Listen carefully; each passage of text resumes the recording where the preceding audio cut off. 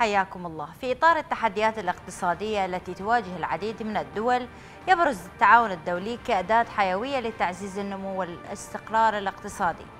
في هذا السياق تعتبر حكومة السودان تطوير المجال الاقتصادي للبلاد أولوية نظرا لما تشهده المنطقة والعالم من تذبذب أسعار النفط. لقاءات كبرى يعقدها رئيس مجلس الوزراء في بغداد مع الشركات العالمية المتخصصة بمجال الطاقة والاستثمار وغيرها.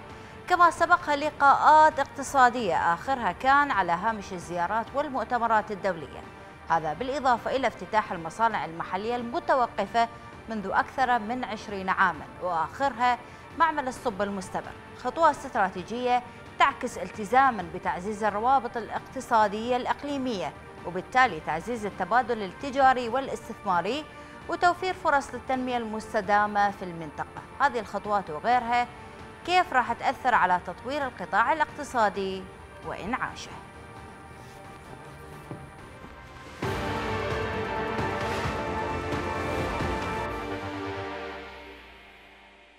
لأجل أن يتنفس العراق ازدهار مستقبله الاقتصادي كان ولا زال بوابة للاستثمار حيث تتنافس عدد من الشركات العالمية على تنفيذ مشاريع للطاقة في مختلف مناطق البلاد.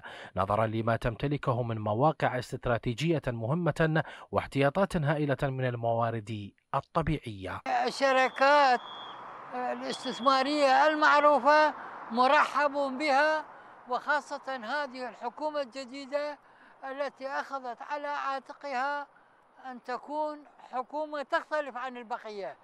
آه، ويعني حكومة خدمات حكومة يعني أشغال أعمال.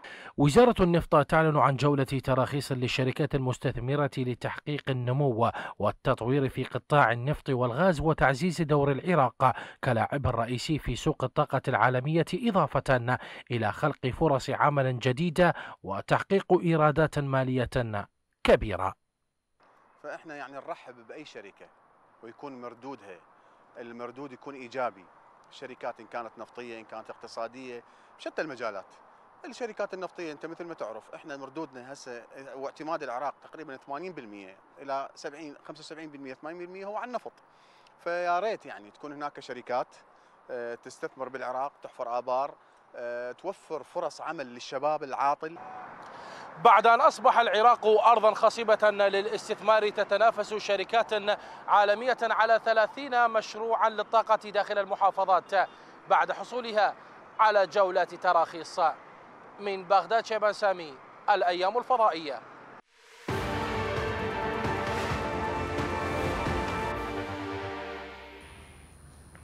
نفتح ملفنا الأول ونرحب بضيفنا في الاستوديو الأستاذ عدي العلوي رئيس تحالف الاقتصاد العراقي. حياك الله. أهلا وسهلا ومرحبا أهلا وسهلا بحضرتك. كل الحكومات السابقة تتحدث عن أهمية الاقتصاد. لكن أريد أسمع وجهة نظرك وتقييمك بعمل الحكومة الحالية ونظرتها للاقتصاد بصورة عامة. شكرا جزيلا لحضرتكم وشكرا للمتابعين الأيام الأحبة. حقيقة موضوع الاقتصاد والقطاع الخاص بصورة عامة. إحنا من نجي نحكي على الاقتصاد يعني معناه قطاع خاص. لأن يعني باعتبار بانه القطاع الخاص هو الوحيد القادر على أن ينهض بكل التفرعات الخاصة بالاقتصاد سواء إن كانت التفرعات الصناعية الزراعية بقية التفرعات السياحية. حقيقة فالضغط والرؤية ويعني بين قوسين نقول إنه هو القطاع الخاص هو الوحيد اللي ممكن أن ينهض بالعملية الاقتصادية بصورة عامة. طيب. زين. هذه التعريف الأول اللي هو قلنا عليه بانه الاقتصاد هو الأساس أساس القطاع الخاص.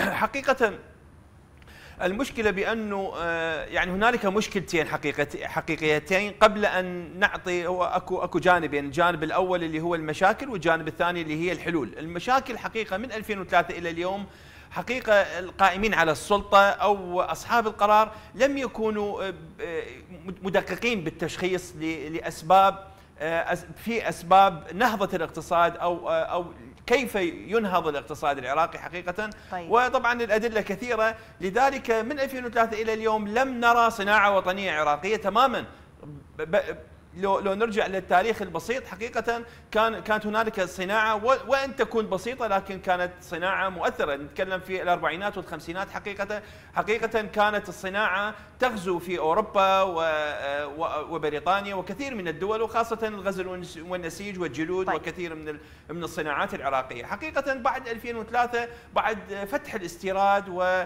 واتساع اتساع وسهولة الإجراءات بالاستيراد. حقيقة جعل هنالك مطبات كثيرة من الجانب الاقتصادي من الجانب الصناعي وبقية والزراعي وبقية القطاعات.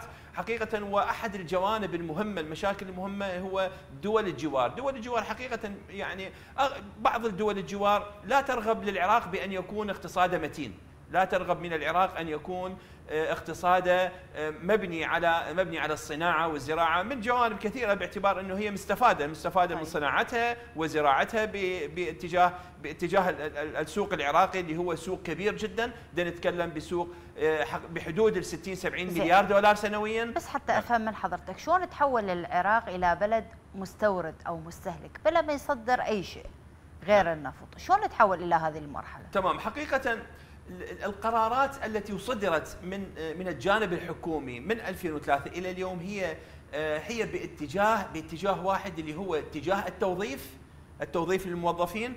وطبعا هذا كل العمليات هذه اللي تجري هي ابتعاد عن القطاع الخاص. لأن إحنا التوظيف من يوظفون أعداد كبيرة بمرتبات واسعة هذا تعتبر منافس كبير للقطاع الخاص. هذا من جانب، الجانب الآخر حقيقة والمهم والمهم اللي هو موضوع الجمارك وموضوع يعني كثير إحنا نتكلم على أكثر من 17 معبر. معبر غير شرعي بالمنافذ الحدودية. هذه المعابر تدخل البضاعة حتى بدون جمرك حتى بدون جمارك هاي وين متواجدة هذه موجودة أغلبها في في في الإقليم إقليم كردستان حقيقة. والحكومة العراقية ليس لديها أي سلطة على هذه المنافذ الحدودية. وطبعا أنت تعرفين حضرتك هاي ال 17 غير الرسمية أكثر أستاذ. أكثر نعم أكثر من 17 أكثر نتحدث على 22 تقريبا من 17 إلى 22 معبر غير شرعي غير رسمي. تدخل البضائع من منها إلى العراق بدون لا رقيب ولا ولا يعني ولا مدقق ولا طيب. حتى جمارك هذا جانب جانب آخر والمهم بأنه كثير أنت سألتيني على شنو أسباب أسباب عدم وجود صناعة أو طيب. أو اقتصاد متين الجانب الآخر حقيقة والمهم جدا بأنه آه، الجانب الحكومي أعطى كثير من الاستثناءات وما زال يعطي الاستثناءات بإدخال البضائع معفيه من الرسوم والجمارك وبقية الأمور حقيقة. بدنا نحكي على أعداد كبيرة. يعني أعطيك مثال. اليوم بدنا نحكي مثلا سيارة سيارة التريلا مال مال مال جيجاير. تدرين لحد الآن ماكو آه، ماكو يعني هاي السنوات الماضية كلها وحد هذه السنة ماكو أي جيجار أو باكيت جيجاير دخل العراق بصورة رسمية ودفع إلى جمرك وضريبه وبقية الأمور زين ليش؟ هذه آه. الاستثناءات على أي أساس تعطى لهؤلاء أنا أنا خليني أوضح للخاطر لا تصير تشويش عند المواطن الكريم، فضل. يعني إحنا بدنا نتكلم على الحاويه حاوية الجيجاير الرسمي سعرها بحدود 400 ألف دولار، اليوم بدنا نتكلم ال 400 ألف دولار حسب القانون لازم يدفعون جمرك 400 ألف دولار لأن نسبة الجمارك هي 100%. بالنتيجة الحاويه الواحده 400 ألف دولار. تخيلي انه انه إنه باليوم إذا بحدود دخلت 10 مو هواية 10 حاويات يعني 400 في في 10 بدنا نحكي على 4 ملايين دولار باليوم الواحد. اذا هذا باب من أبواب الفساد. 100% بالنتيجة انها هي حقيقة هنالك أكو منافذ وهذه المنافذ هي أصلا منافذ حكومية. اليوم بدنا نحكي على على صلاحيات موجودة الصلاحيات لدى لدى جهات معينة في في الحكومة العراقية وهي مشخصة لدينا في اقتصاديون بأنه آه، بأنه هذه الجهات تعطى استثناء آه، من من التعليمات الحكومية بدخول من من, من من تعطى استثناء؟ يعني بعض الجهات حقيقة ما نريد نسميها خاطر لا تصير آه، علينا مشكلة قانونية لكن يعني هذه الجهات, الجهات رسمية نعم تعطيها هذه الاستثناءات؟ وضمن وضمن الحكومة وضمن القرارات الحكومية وهم وحاويات وحاويات الجيجار تدخل في المنافذ الرسمية عبر المنافذ لا ما أتكلم أنا عن الجيجار أتكلم على كل شيء. يعني تخيلي بأنه هذه الجهات تعطي مثلا تعطي إلى أحد المحافظ المحافظين أي. صلاحية دخول مثلا فد 500 حاوية من الدجاج هو أصلا ممنوع الدجاج من من الاستيراد. الدجاج من يمنع من يمنع من الاستيراد هو الغرض واحد خاطر تنشيط الصناعة بالداخل الانتاج تدخل هاي فتنهي الصناعة. احسنتي لذلك حقيقه نحن نشكل نشكل على الإدارة بهذه المنافذ التي حقيقة أنهت الصناعة طيب. وأنهت الزراعة وأنهت التجارة بفترة كانت العراق افرض بأنه يصدر هذه المنتجات أنت حضرتك قلت أساس الاقتصاد هو القطاع الخاص نعم. بهذه العوامل وبكثرة أبواب الفساد وماكو ضمان للعامل في القطاع الخاص شلون راح يتوجه العامل للقطاع الخاص تمام آه، يعني حقيقة شوفي إحنا فد عندنا في الدراسة وفد رؤيه ب... نعم. بهذا الموضوع يعني الأخوان في مجلس النواب القانون الأخير اللي هو قانون العمل العمل حضرتك اطلعتي به نعم. يعني حقيقة إحنا كانت عندنا كثير من المشاكل اللي آه، اللي تمنع أو أو صاحب المحل أو صاحب الشركة بتسجيل بتسجيل بتسجيل صحيح. العاملين لذلك حقيقة اليوم آخر تقرير بأنه بانه عدد العاملين المسجلين من أصل من المفترض العاملين المسجلين بحدود ال 20 مليون عامل. اليوم بدنا نحكي على أقل أقل من من 3 ملايين و800 يعني يعني حتى أقل من 10% من من عدد العاملين المفروض يسجلون. ليش؟ لأن القانون حقيقة يعني القانون الأخير آه، بحسنات وبسيئات لكن سيئاته أكثر من حسناته. اليوم أنا أبو محل زين. أني أبو محل. شلون أني اسجل أسجل أولاد يعني الموجودين عندي ومن يسجل من أسجل الأشخاص اللي موجودين في إيه. في المحل. حقيقة أدفع رسوم رسوم كبيرة جدا، اليوم بدنا نحكي على 18 أو 17% تدفع آه، تدفع يتحملها مو يتحملها العامل. هم يقولون العامل لكن العامل هذا هو راتبه محدود. يعني راتبه 600 ألف أنت تاخذين من عنده 70 ألف دينار أبو المحل؟ بالنتيجة النهائية أبو المحل. زين أبو أبو الشركة أو أبو المصنع هو اللي يدفع هذا واحدة النقطة الثانية حقيقة والمهمة جدا بأنه أنت تخيلي بأنه صار عندك ظرف وما قدرتي أنت تودين هذا شهر بشهر الاستقطاع هذا الموضوع تدرين أكو فوائد هذه الفوائد أرقام كبيرة جدا. يعني إذا إذا مثلا طول طوله الفترة أشهر وما سددتي توصل ملايين بالنتيجة النهائية بالنتيجة النهائية حقيقة هذا أحد الموانع من تسجيل من تسجيل من تسجيل هؤلاء يعني هسه العامل بقى بين فكي الظلم وكماشة الفساد، إيش راح يسوي بهذه الحالة؟ يعني شوفي يعني هسه توظيف بعد ماكو تعيينات. نعم تمام. يعني القطاع الخاص ما منشط وبي عليه هواي إشكاليات وبي مشاكل. العامل اليوم وين ينطوي تمام. شوفي إحنا خلينا خلينا نعلم ودائما نركز على هذا الحديث بأنه آه، يعني المخرجات للتربية والتعليم بحدود 800 ألف شخص سنويا يتخرج من المعاهد والكليات آه، كمخرجات مهنية وجاهزة للوظيفة، الحكومة العراقية مثل ما حضرتك تدرين غير قادرة على استيعاب هاي الأعداد الهائلة الكبيرة صحيح. الكبيره جدا وبزيادة مستمرة، يعني إذا نحكي بالعشر سنوات يوصلون 8 ملايين خريج، الدولة غير قادرة زين الدولة إذا غير قادر غير المفروض أنه طبعا هي الدولة هي أب أب للجميع المفروض أنه أنه تضع ضوابط لتنمية القطاع الخاص خاطر تقدر تستوعب هذه الكميات الكبيرة من من من من من العاطلين أو أو آه، الخريجين أو الجهات الأخرى، يعني أنا ما معقولة إنه أنا اعطي شوف كل مكان بالدول العالم، كل مكان بالعالم. شوفي نسبة الخريجين الدكتوراه والماجستير والبكالوريوس والتعليم المهني اللي هو الصناعي والزراعي نعم. والتجاري وهذه التخصصات. يعني حقيقة أنا أبو أنا في مصنع أنا شو أحتاج؟ شو أسوي بخريج خريج دكتوراه أو خريج ماجستير مثلا؟ حقيقة هذا أحد الجوانب المهمة جدا اللي هي تسبب مشاكل كبيرة. يعني أستاذ نعم. هسه الحكومة هذه عندها تركه ثقيلة. هسه عندك معمل الصب المستمر. نعم. افتتح و20 عام هو متوقف. معقول العراق عجز عن عن عن صناعة مصانع ومعامل لاستيعاب العاطلين عن العمل؟ حتى نعم. لو مصانع شخاط يعني هل من المعقول هذا نستورد الشخاط من الصين ومن دول الجوار؟ القطاع الخاص غير يعني آه، حقيقة مو عاجز ابدا مو عاجز. لكن منو العاجز؟ عاجز القرارات اللي تنظم القطاع الخاص. اليوم أني أني كأبو مصلحة أو أبو مصنع إذا أريد أبني مصنع أحتاج إلى ثلاث سنوات معاملات ورقية. بالنتيجة النهاية بعد ما أبني وأصرف ملايين الدولارات على هذا الموقع اللي ذبيت كل جهودي وأموالي به يجيني تجيني وزارة البيئة بعد ما يطلع الإنتاج.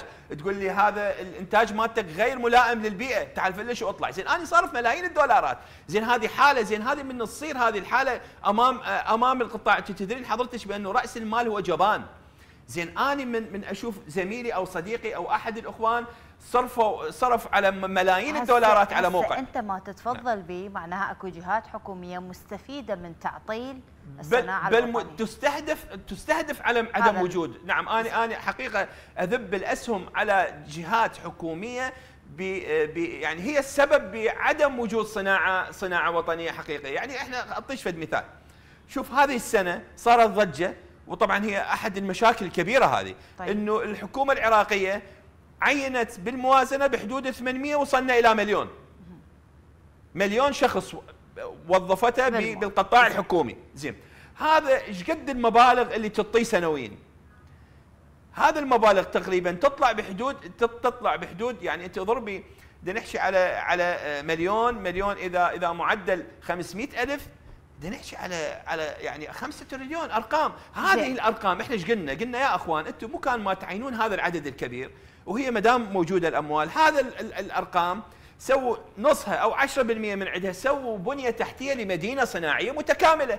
هذه المدينة الصناعية المتكاملة مو كان ما انت أنت سويت مليون أنا ممكن 4 ملايين أوظف بهذا المكان. هذا المقترح قدمتوه للحكومة. طبعا قدمناه شنو كان الجواب؟ خليها صنطة. لا والله قل لي. لأنه حقيقة أريد أعرف يعني فكرة تبدو إيجابية وتبدو عملية جدا.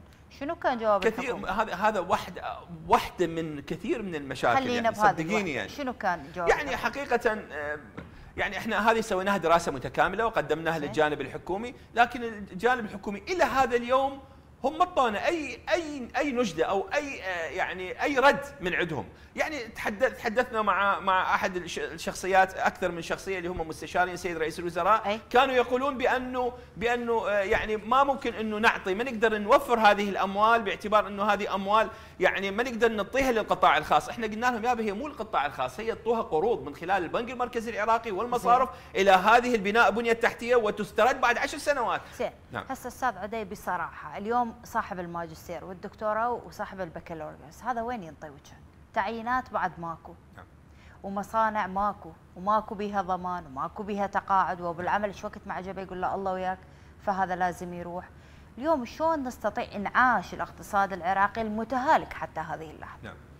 يعني عندنا نقاط مهمة. زي. النقطة الأولى يعني تسمحي لي أحكي بصراحة لأن هذا الموضوع آه، أمانة وهذه الأمانة المهنية تحتم علينا انه نتكلم بصراحة. بكل تأكيد. أول نقطة تغيير هيئة المستشارين بمكتب سيد رئيس الوزراء. إذا نريد نشتغل صح.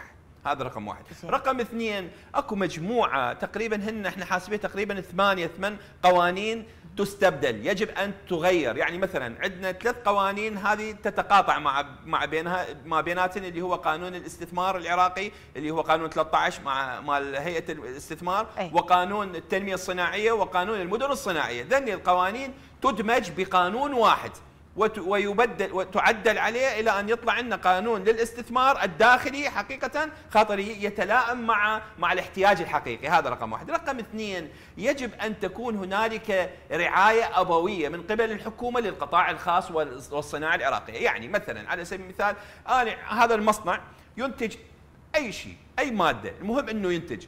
ما دام إنه عنده إنتاج فأني أعطيه دولار أسميه دولار بترو دولار أسميه دولار صناعي. يعني الدولار مثلا إذا يباع إذا يباع بالأسواق مثلا 1500 خليني أسوي يعني دولار مدعوم. يباع نعم. مثلا ب 1300 أو 1320 خاطر يعطيني دعم بأنه أقدر أنافس الأجنبي. هذا رقم اثنين. رقم ثلاثة هنالك بعض القرارات رقم أربعة أستاذ عدي. أربعة. لا. هنالك بعض القرارات اللي هي القرارات المهمة بالمنافذ الحدودية عندما نتكلم على الجمارك. هذه يجب أن تغير وتبدل وحتى الرسوم الرسوم الجمركية خاطر تصير أكو منافسة. يعني أنا ما معقولة مثلا مثلا على سبيل المثال بطل المي بطل المي استورده من من الخارج يجي يباع هنا مثلا ب 75 دينار واني التكلفة الحقيقية مالتي تصير علي أنا وبمصنع العراقي ب 100 100 أو 110 دينار. اذا اكو أكو سلة من القرارات والقوانين يجب أن تغير خاطر تكون داعمة للقطاع الخاص وهذا الدعم شو ينتج لنا؟ ينتج لنا توفير عدد كبير من من فرص العمل، إحنا بدنا نحكي اذا مشكلتنا تشريعية هم نعم. تشريعية وتنفيذية. تشريعية تنفيذيه رقابية هذه الجهات الثلاث المهمة اللي إحنا نحتاجها اليوم بدنا نتكلم على طيب. على حقيقة يعني بكل أمانة ان نتكلم بانه الأشخاص اللي موجودين بإدارة هذه الملفات هم أشخاص غير معنيين بالإقتصاد وهم عبارة عن موظف يفكر بانه نهاية الشهر أكو راتب يجي يجي آه، يجي بجيبه وانتهى طيب. الموضوع الاستثمارات للشركات الامتيازات للاستثمارات الأجنبية أكثر من الامتيازات للاستثمارات المحلية يعني هو هو ماكو عندنا إحنا شركات أجنبية حقيقية مو إحنا نريد نهيئ البيئة حتى تكون بيئة اقتصادية تمام. جاذبة دا يجون يستثمرون بالعراق تمام يعني طبعا من أهم أهم نجاح أي بلد اقتصاديا هو توفير بيئة آمنة للاستثمار الخارجي. زين. زين أنا يعني أنا أحتاج إلى أمن أحتاج إلى استقرار أحتاج إلى آه، إلى رعاية أبوية. هم نقول إلى رعاية أبوية. أنا يعني لازم أعطي اطمئنان للمستثمر الخارجي. هذا جايب له فد 50 60 مليون دولار. يجي دا يجي دا يسوي له مصنع أو مجموعة مصانع أو مجموعة أي شو نريد نسميه إحنا؟ لازم أعطيه اطمئنان بأنه اولا أكو استقرار بالدينار. أنا ما يهمني سعر الدولار. الاقتصاد أي اقتصاد بالعالم ما يهتم بسعر يعني سعر التصريف يهتم إلى استقرار العملة. يعني اليوم أني من أجي كمستثمر أشوف هذا البلد بخمس سنوات أشوف أكو تذبذبات بالسعر الدولار صاعد نازل بال- بالعملة مالته. إذا أكو تذبذبات لا يصلح لل- للاستثمار تماما. ما هسه تذبذبات عندنا؟ ذاك اليوم صارت أكو استهدافات لحقول غازية في إقليم كردستان. هذه كلها عوامل تطرد الاستثمار. ت- شلون نستطيع المحافظة على البيئة؟ بكل آمنة؟ أمانة بالنسبة للسياسة المالية إحنا عندنا مشكلة في السياسة المالية. مشكلة كبيرة بالسياسة المالية. يتحملها البنك المركزي العراقي لأن هو حسب القانون هو هو يعني الراعي وصاحب القرار. بالسياسة المالية لذلك طيب. علينا أن نكون جادين بتغيير بتغيير السياسة المالية وهيكلة النظام المصرفي إحنا أهم نقطة إذا نريد ننجح بإدارة الاقتصاد لازم نهيكل إعادة هيكلة النظام المصرفي بصورة عامة ما معقولة أني مصرف أهلي مصرف أهلي يربح أرباح خرافية اليوم بدنا نحكي على تريليونات جهات نعم. سياسية تعرقل عملكم بكل بصراحة. أمانة. نعم. كثيرة. فمن ذلك لا تحظون بسلطة تنفيذية ولا بسلطة تشريعية وباقي الاقتصاد يروح بمكان. بكل بكل أمانة يعني هذا كلام دقيق جدا. طيب.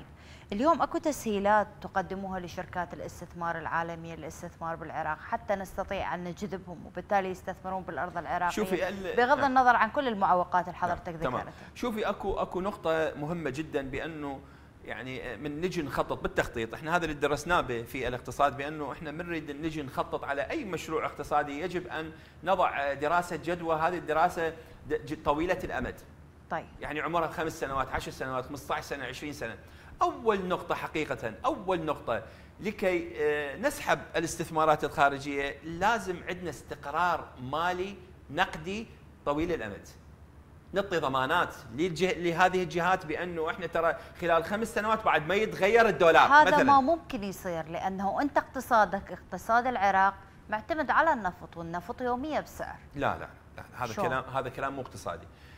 آه، سعر العملة سعر العملة حقيقة إحنا في العراق يجوز نختلف عن بس الخارج حتى أفهم إذا نعم. هسه نزلت أسعار النفط صارت 30 أو 40 منين تقدر تسد رواتب؟ الدولة شلون تمشي امورها؟ أنا اعطيك اعطيك اعطيك حلول كلش زين. بسيطة الحلول طيب. حقيقة وإحنا اعطيناها للحكومه العراقية واعطيناها البنك المركزي بكتاب رسمي لكن تعرفين شنو جوابهم شنو؟ جوابهم بأنه إحنا عندنا خبرائنا وعندنا مستشارينا ودا نعطيهم دا يتقاضون الرواتب على على استشاراتهم هذا إجابة وإحنا دا إحنا افكارنا نعطيهم مجانيه احتفظ بها النفس. احسنت إحنا نعطيهم مجانيه. نريد نخدم بها الاقتصاد العراقي. خلينا نحكي شوي على كيف نقدر نوفر السيولة النقدية. إحنا عندنا مشكلة بالسيولة الدينارية مو الدولارية. مو الدولار. الدولار موجود طيب. لكن لكن عندنا مشكلة بالسيولة النقدية اللي اعطاها للموظفين. وضح لي هذه النقطة. نعم.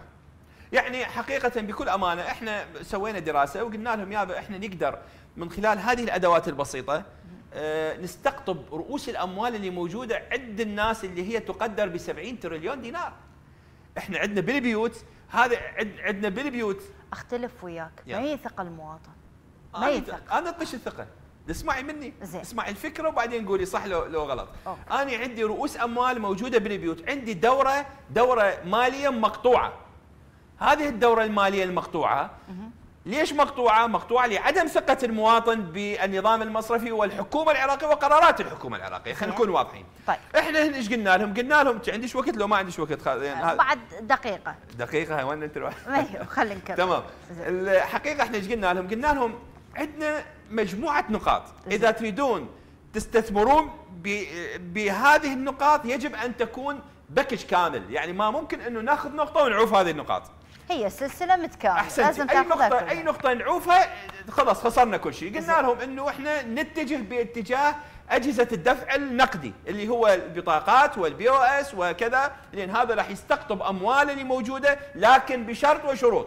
الشرط يجب ان أن نعطي آه، أن نعطي مجموعة حزمة للقطاع الخاص والمحال التجارية والشركات بأنه هذه الأموال اللي أنتم تتجنوها بحساباتكم أكو بها فوائد مو فوائد نقدية لا. يعني مثلا مثلا نعطيكم يابا أنت إذا تجمع هذه أموال أنت تقدر نعطيك إحنا اوبشن بأنه بالسعر الرسمي بالسعر الرسمي تقدر تستورد ال- ال- ال- المواد اللي آه. تريدها بالسعر الرسمي مثلا. لأن إحنا العراق يعني نبيع تنطون 200 امتيازات خاصة. امتيازات. إحنا بدنا نحكي على 230 240 مليون دولار العراق يبيع يوميا من خلال المنصة. إحنا نحتاج بمشروعنا 20 مليون من هذه ال 200 هي بدها تروح ضائعات ترى. ترى ما تروح بجهاتها الحقيقية. ترى بدها تروح لجهات فساد. لو أصلا بدها تروح لجهات. أخذيها من عندي بأرقامي أني. أقول لك بأرقامنا في اقتصاديون يوميا هدر بهذا الفرق السعر بيوميا بحدود ال 9 ملايين دولار باليوم الواحد. يذهب إلى جيوب الفاسدين. كثير كثير هذا الرقم.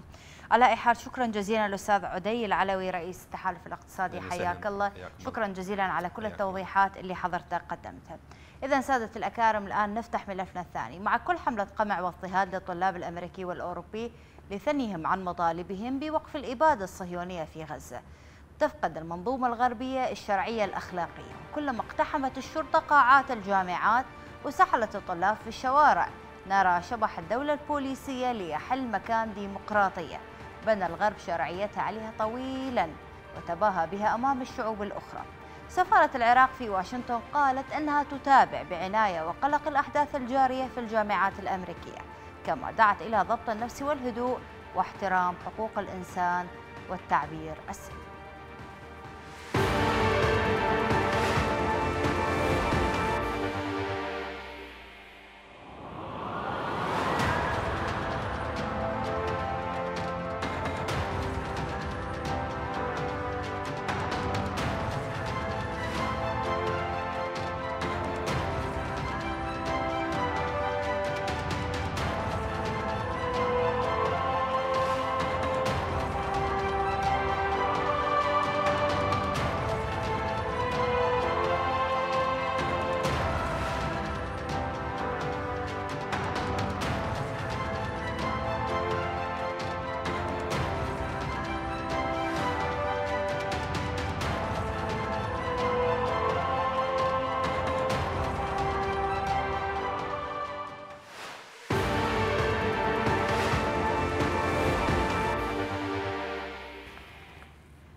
نفتتح الآن الملف الثاني وأبدأ مع الدكتور رضوان قاسم الخبير في الشأن السياسي والعلاقات الدولية عبر سكايب من ألمانيا. حياك الله دكتور. أهلا وسهلا. تحياتي أهلاً لكم بحضرتك. ولمشاهدي قناتكم الأعزاء. أهلا وسهلا بحضرتك. كل الترحيب بالدكتور مصطفى البهادلي أستاذ العلاقات الدولية في الجامعة المستنصرية. حياك الله. أهلا وسهلا. أهلا وسهلا بحضرتك. أبدأ آه، معك أستاذ. ثورة الجامعات الأمريكية نصرة لغزة. تتصاعد وسط تحركات طلابية عالمية مساندة اليوم خرج حتى طلاب الجامعات العراقية نصرة لغزة سؤالي لحضرتك هل ستكون مؤثرة أم لا؟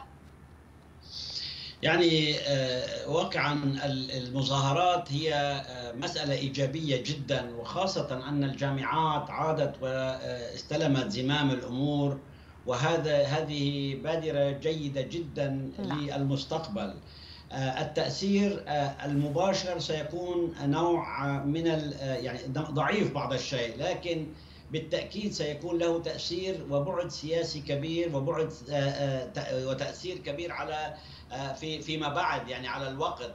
هذا يحتاج إلى بعض الوقت لأن الجامعات الأمريكية والغربية ووصولا إلى الدول العربية هي كانت غائبة لفترة طويلة عن الأحداث أو بالاحرى مغيبه لفترة طويلة عن الأحداث على أن تعود هذه القوة هذه مسألة مهمة جدا إضافة إلى النقطة التي انطلقوا منها وهي مناصرة غزة والشعب الفلسطيني الذي كان لفترة طويلة آه، يعني وكأن آه، آه، قضية غزة أو قضية فلسطين قد نعم. اختفت عن الساحة مبادرة الجامعات الأمريكية والغربية وصولا إلى الدول العربية أعاد إحياء هذه القضية من جديد. نعم. وخاصة أنها خرجت عن يعني عن لسان وعن تحركات المثقفين والأساتذة في الجامعات والدكاترة والتلامذة الجامعيين يعني أصحاب الفكر أصحاب الرؤية السياسية.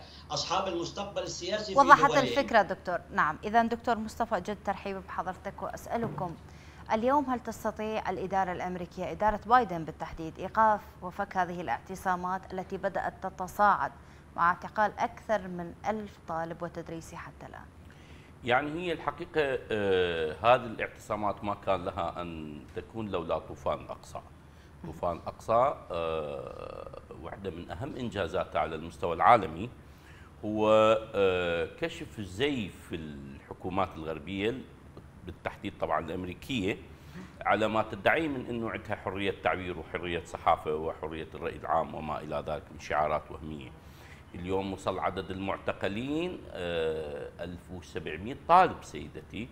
وبذلك آه، نؤكد يعني من خلال هذه الممارسة المهمة جدا على مستوى الرأي العام العالمي نعم. في دعم آه، طوفان الأقصى على كيف إن الحكومات الغربية اللي تتبجح بحرية التعبير وحرية الرأي العام تشوفها إنه هي في قعر دارها تعتقل الطلاب وعلى فكرة كل اللي سوى الطلاب هو مظاهرات سلمية بالحق الإنساني للشعب الفلسطيني والتذكير القائمين في السلطة بالغرب ولا سيما الولايات المتحدة تحديدا بإن ما تفعلونه من دعم للكيان الصهيوني لنظام السياسي اللي يمارس الإبادة الجماعية هو يتعارض مع أبسط حقوق الإنسان. وهذا يبدو إلى آه، أي مدى أثرت هذه الخطوة على قرارات الإدارة الأمريكية أمام الداخل الأمريكي؟ حتى الآن ماكو فد تأثير على المستوى العملي يعني أنت يعني أفتهم جنابك يعني تقصدين على المستوى العملي. نعم. لا يعني بالعكس هنالك قمع لهذه المظاهرات هناك تنكيل بها. اليوم في إطلالته آه، الرئيس الأمريكي إطلالته الإعلامية قبل ما أجي لحضراتكم يقول أنا سمع أنا سمعتكم زين ومن ثم سوات يعني. يعني أنت لما تسمعهم يعني غير المفروض هذا الرأي العام وأنت تدعي من إن الولايات المتحدة هي بلد الحرية الأول وبلد الصحافة يعني الأول. هو ده يقول أنا سمعتكم لكن بدون بدون نعم. إلى أي مدى ستؤثر ما على حظوظه بالانتخابات؟ ما أعت... لا هاي بالانتخابات. حسب عب... الانتخابات. لا لا أنا فهمت سؤالي العفو؟ على سياسة الولايات المتحدة تجاه إسرائيل. هذه ثابتة ولن تتغير. آه فهذه يعني ما لكن ما بايدن الآن لكن بايدن, بايدن. هو عموما هو عموما سواء بهذه سيدتي هو بهذه المظاهرات وبغيرها هو حظوظه يعني يعني اليوم اخر آخر التحديثات فرقه آه، درجة واحدة بالمئة عن ترامب. يعني شايف إيش قد التقارب بينه وبين ولكن ترامب المشكلة ترامب مستعد لأن يمحو قطاع غزه هو لا يقل دموية عن لا إحنا مدى نقول؟ لا لا إحنا فسؤال لحضرتك اليوم هؤلاء الطلاب الرافضين رافضين بمعنى لسياسة ترامب ولا سياسة بايدن؟ لا لا لا لا لا, لا هم رافضين هم رافضين للسياسة اللي دي يتبعها النظام السياسي الأمريكي في دعمه إلى إسرائيل وتسليح إسرائيل بالأسلحة اللي تستخدمها إسرائيل في إبادة الشعب الفلسطيني. يعني خلينا نكون واضحين بهاي وضحت جدا هذه الجزئية. فبالتالي فبالتالي أما على الصعيد الداخلي لا حظوظ بايدن آه، يعني ضعيفة جدا يعني وهي هاي يمكن تزيد تزيد من نسبة آه، حظوظ ترامب. نعم. لكن هذا لا يعني انه ترامب أفضل على فكرة يعني. نعم. يعني وضحت جدا لكن أنت تتحدث بالمعطيات حتى الآن. اذا آه، أستاذ رضوان بصراحة تتوقع حظوظ بايدن ناجحة في استيعاب هذه الاعتصامات وبالتالي فكها بطريقة سلمية بطريقة ودية مع الطلبة أم سنرى تصعيدا أمريكيا غريبا وهم مما يدعون حرية الإنسان وحقوق الإنسان وكل هذه الأمور. أشكرك جزيلا على هذا السؤال. هذا حقيقة سؤال مهم. آه، أنا أؤكد أن بايدن سيفشل فشلا ذريعا في استيعاب هذه المظاهرات. وسيكون التحرك أكبر بكثير مما نراه اليوم. وخاصة أن كلا الطرفين الجمهوريون والديمقراطيون يستخدمون هذه المظاهرات اليوم في كورقة انتخابية. يجب علينا أن نعرف مسألة مهمة جدا. أن الداخل الأمريكي كان دائما يتأثر أو تأثير الشعب الأمريكي في الانتخابات كان يعود إلى السياسات الأمريكية في الداخل الأمريكي السياسات الداخلية. نحو الاقتصاد نحو النمو نحو البطالة وغير ذلك. كل هذا كان يتأثر به الناخب الأمريكي. هذه المرة الأولى التي تلعب السياسة الخارجية آه، بقوة بهذا الشكل على الشارع الأمريكي وسيكون لها تأثير كبير في الانتخابات. إلا أن الجمهوريون والديمقراطيون متفقون على دعم إسرائيل. الآن الذي سيحصل في الأيام القليلة المقبلة أن جو بايدن لا يستطيع وهو ما بين السندان والمطرقة ما بين اللوبيات الصهيونية الداعمة لإسرائيل وما بين المظاهرات الذي سيحصل أن الجمهوريون سيلعبون هذه الورقة الورقة بطريقتهم بحيث أنهم سيسلم أو أو سيوجهون أصابع الاتهام للديمقراطيين ولجو بايدن خصيصا نعم. على أنه غير قادر على الوصول إلى حل في قضية غزة والوصول إلى وقف إطلاق النار الجمهوريون وعلى رأسهم ترامب سيلعب من خلال هذه اللعبة وكأنه يقول للمتظاهرين لو أنا وصلت وصلت إلى سدة الرئاسة لو أنا كنت مكان في جو بايدن نعم. لحسمت الأمر لأوقفت إطلاق النار ووصلت إلى حلول جذرية هذا التلاعب سيكون انتخابيا أكثر منه فعليا نعم. على الأرض لأن كلا الطرفين مؤيدين للكيان الإسرائيلي طبقا للضغوطات اللوبيات الصهيونية الموجودة والإسرائيلية نعم. اليهودية الموجودة في الولايات المتحدة الأمريكية طيب. ونحن نعرف أن هذه اللوبيات هي التي تسيطر سيطرة كاملة على الاقتصاد على الشركات الكبرى وعلى المؤسسات وضحت الفكرة دكتور رضوان على نعم. الحملة الانتخابية لكل من الرئيسين طيب. لكن أنا لا أعتقد أن جو بايدن سيستطيع استيعاب هذه التحركات بل ستزيد أكثر فأكثر وربما تذهب إلى التصادم أيضا. التصادم نعم. إذا دكتور مصطفى يتوقع دكتور رضوان أن تذهب الأمور إلى التصادم. هل سيعيد الغرب حساباتهم؟ حتى لا تتكرر ما يحدث الأحداث فيما يحدث في الجامعات الأمريكية ربما في أوروبا. يعني ما أعتقد يعني للآن آه، لغة المصالح هي الحاكمة. اللوب الإسرائيلي في أمريكا وفي الغرب لا زال نافذ وقوي.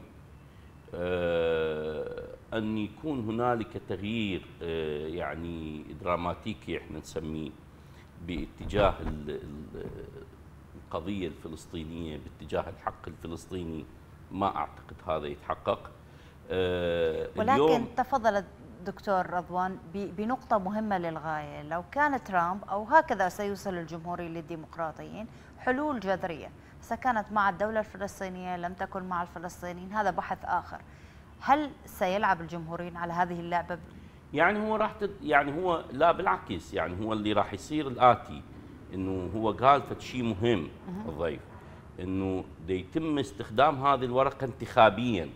لكن لكن مو على المستوى الاستراتيجي مو على مستوى السياسة الخارجية. فيما لو وصل ترامب إلى السلطة يمكن يمكن آه، يكون دعمه لإسرائيل أكثر. يعني إحنا شفناه في ولايته الأولى. هل تخفل هل تخفل على على الجماهير الطلابية الغاضبة؟ هذا التلاعب بين الجمهوريين والديمقراطيين. يعني يعني الرأي العام الرأي العام آه يعني أنا أنتمي للمدرسه الواقعية في السياسة.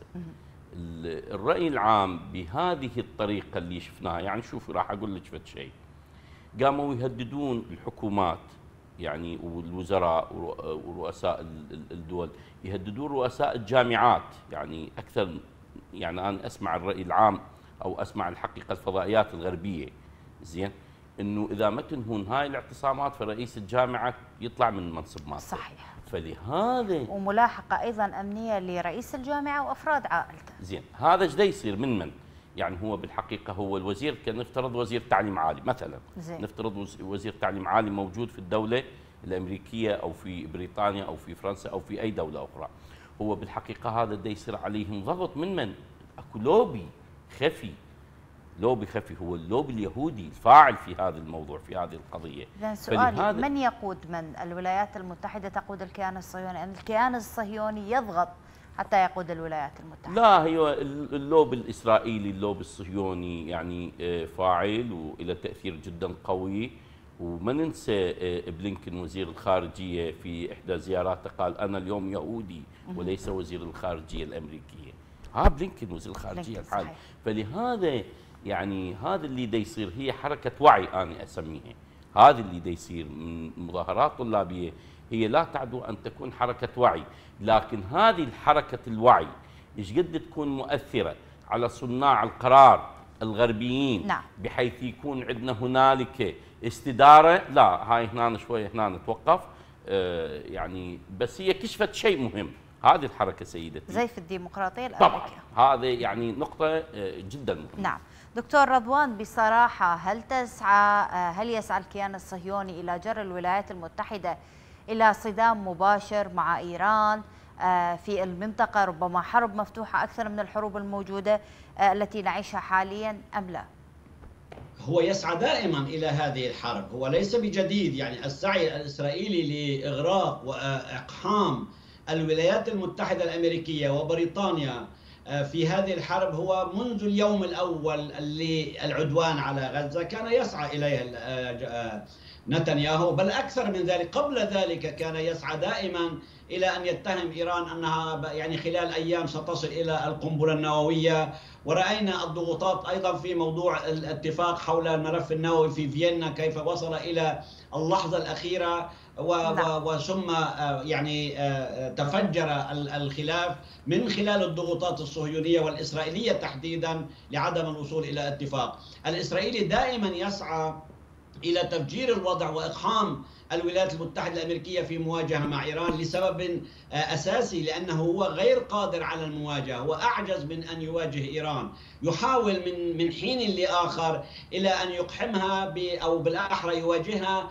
طيب. بطريقة غير مباشرة وخير هذا يؤسس سؤال دكتور رضوان عندما هل ستتلقف الولايات المتحدة الطعم؟ الصهيوني؟ عفوا ما سمعت هل ستتلقف الولايات المتحدة الأمريكية الطعم الصهيوني بجرها لحرب مفتوحة مع إيران؟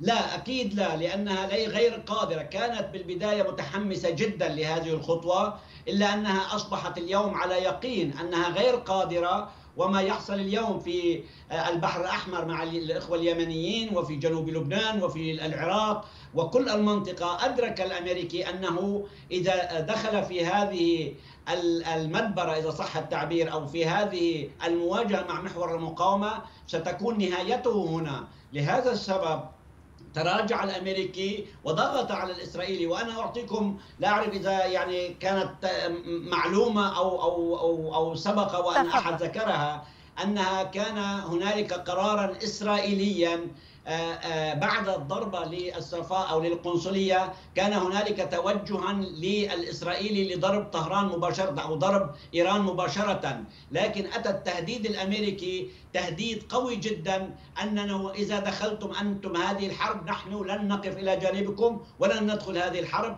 مما جعل التراجع الإسرائيلي آه، يعني آه، كبير وكبير جدا حيث أنه بدأ الحديث عن أنه لا يريد التصعيد. لهذا السبب الأمريكي يعرف أنه إذا دخل هذه المعركة ليست سهلة عليه وخاصة أن اليوم وضعه الدولي أضعف بكثير من أن يخوض معركة نعم. مع إيران أو مع غير إيران وهو ما رأيناه اليوم في اليمن يحاول صد الضربات ولا يحاول إقحام نفسه في حرب آه، طويلة وممكن طيب. أن تجره إلى أبعد من ذلك.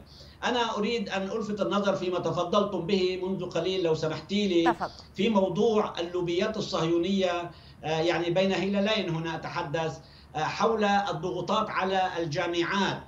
الم- المكان الوحيد والمؤسسات الوحيدة التي ليس للوبيات الصهيونية الإسرائيلية سلطة عليها هي الجامعات. وخير دليل ما يحصل اللوبيات الصهيونية لها سلطة لها قدرة لها ضغوطات على الاقتصاد على السياسة وهذا اللي على الشركات والمؤسسات العسكرية وغير العسكرية إلا أن الجامعات هي الوحيدة التي خارج نطاق نعم. هذا الضغط من هنا نشهد المشهد ال الذي نراه اليوم في الولايات المتحدة الأمريكية وفي العديد من الدول الأوروبية طيب. لهذا السبب الأمريكي لا يستطيع أن يذهب بعيدا في المواجهة لا مع إيران ولا مع المحور لجانب إسرائيل وهو نعم. دائما يبحث عن حلول لكن لمصلحة إسرائيل خوفا من تفجير الوضع في الداخل الجامعات ليتطور أكثر وأكثر طيب. والمواجهة هنا عندما تحدثت عن مواجهة هي الأقرب إلى الواقع لسبب بسيط جدا لأن سيترك الشارع المؤيد لإسرائيل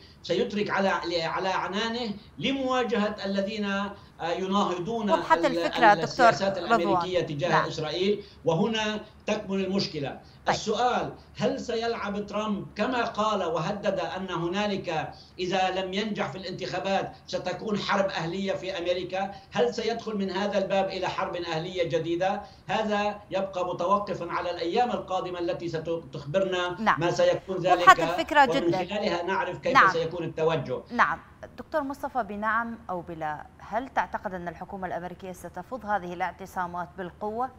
هي تفضها بالقوة. أكثر من هذا العنف؟ يعني هذا يتوقف على حجم الاعتصامات يعني وشموليتها آه، إيش قد هي راح تذهب إلى أي مديات؟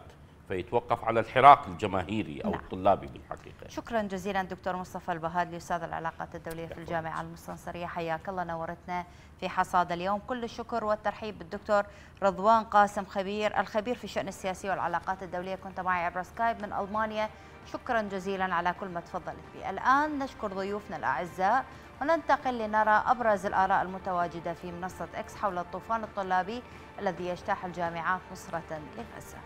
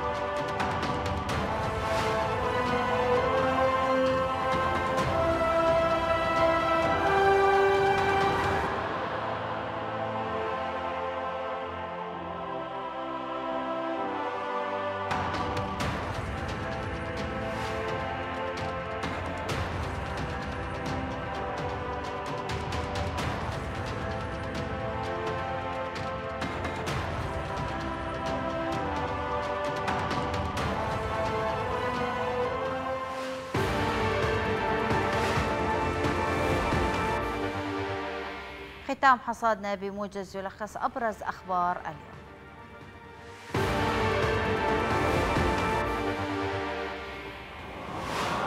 السودان يصدر توجيهات لتعزيز استخدام الدفع الإلكتروني وتسهيل ومراقبة العمليات المالية والتجارية المنفذة من خلال هذا النظام.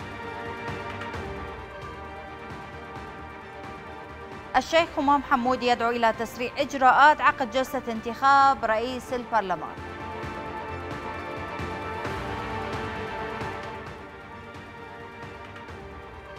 طلاب الجامعات العراقية ينظمون وقفة تضامنية مع المتظاهرين المناهضين للصهاينة والداعمين لنصرة فلسطين في الجامعات الأمريكية والأوروبية. ومع تواصل الاحتجاجات ضد الحرب على غزة ارتفاع عدد المعتقلين خلال الاحتجاجات في الجامعات الأمريكية إلى أكثر من 1700 طالب. وأخيرا الخارجية الإيرانية تعلن فرض عقوبات إيرانية على أشخاص وكيانات أمريكية وبريطانية لدعمها الإرهاب وانتهاك حقوق الإنسان.